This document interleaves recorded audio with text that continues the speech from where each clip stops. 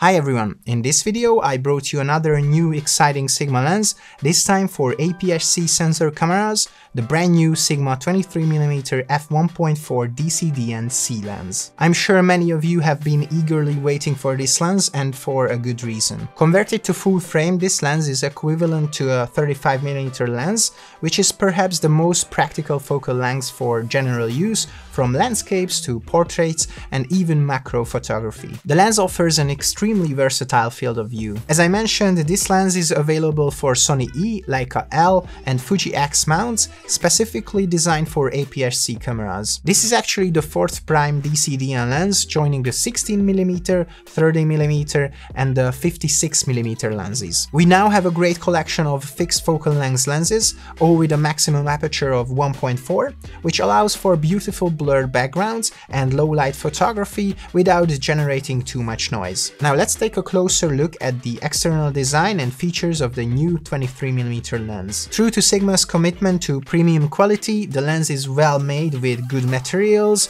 and relatively light at 330 grams. It's not extremely compact but not bulky either. Its size is visibly smaller than the older 16mm lens, which is not a giant lens by any means. The design is as simple as possible as we have come to expect from this line of lenses. There are no buttons or switches, just a focus ring that is very comfortable to adjust and large enough to easily pull focus manually if necessary. Those who appreciate minimalist design will likely enjoy the 23mm lens design, but I miss the AF-MF switch, although you can set this switch on a quick button on modern cameras, so it's really just a matter of habit. The lens has a filter diameter of 52mm and comes with a petal-shaped plastic hood that fits perfectly and is useful in backlit situations. The lens mount is weather resistant, so it is dust and splash proof to use it in extreme conditions. That's enough about the design, let's see what it's capable of in terms of image quality and sharpness. We won't be disappointed because we can create beautiful images even at f1.4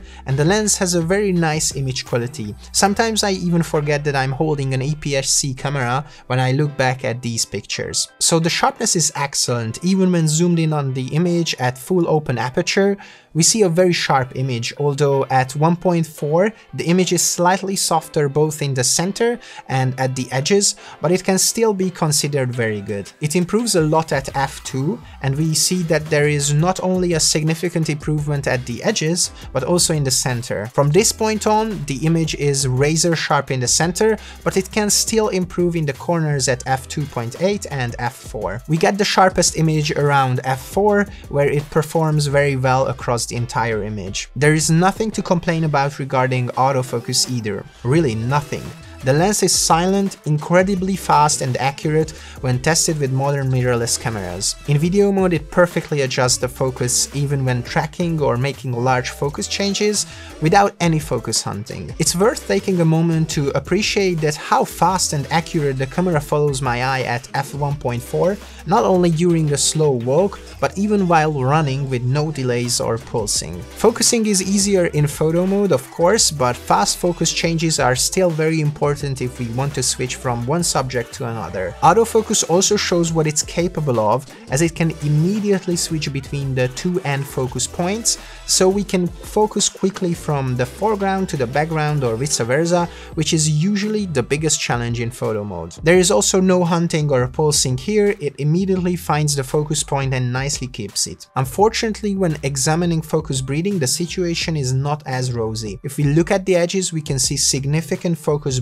as the edge of the image moves during larger transitions. It is important to be aware of this and pay attention to it, especially if we are focusing on large transitions. Looking at chromatic aberration, we can see that it is still present at 1.4 on high contrast edges, but the good news is that it improves significantly when stopped down to f2 and it is minimized. At f2.8 and f4 it improves again and it is hardly noticeable and at f5.6 it practically disappears. However, However, we do see plenty of vignetting, especially at wider apertures, which quickly disappears. At 1.4 we see strong darkening in the corners, which improves almost equally with each aperture change. At f2.8 the corners are almost completely clear, but they brighten up eventually from f4. There is distortion, namely barrel distortion, but it's not extremely distracting from a distance. However, if we shoot closer, straight lines can become curved, but we can easily and quickly correct this in post. The lens has truly beautiful bokeh. Even with an APS-C camera at 1.4 we can achieve incredible subject separation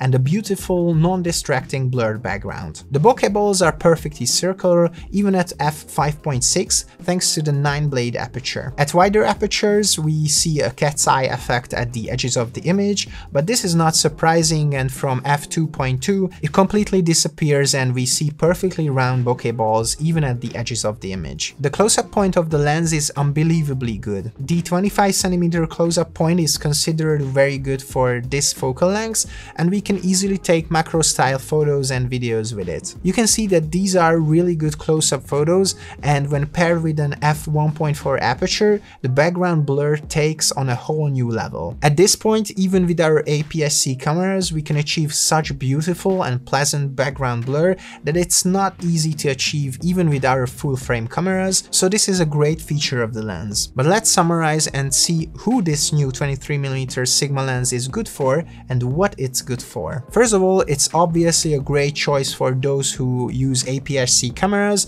as it's designed for that and fits perfectly with compact camera bodies. Coming from an a7 IV and a7S III, I was very surprised at how much weight difference there is between an APS-C system and a full frame system, so I think I'll be experimenting more with similar camera bodies and lenses in the future. The 23mm focal length is simply perfect for these bodies as it corresponds to the full frame 35mm, which is my favorite focal length and I think it can be extremely versatile. If we are further away, it's perfect for landscape photography or for photographing buildings or cityscapes, but if we are closer, we can even do portraits or macro shots or take smaller details with it thanks to the super close-up point. So overall, the beautiful image quality, the brightness of the lens, the incredible fast and accurate autofocus, the good close-up point, the affordable 549 USD price, and the possibilities in the 23mm focal length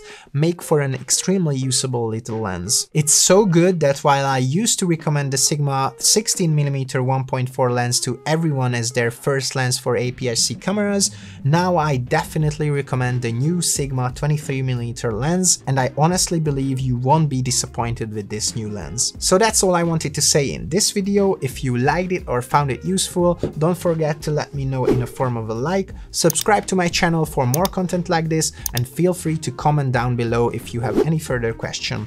Thank you so much for watching and see you guys in the next video.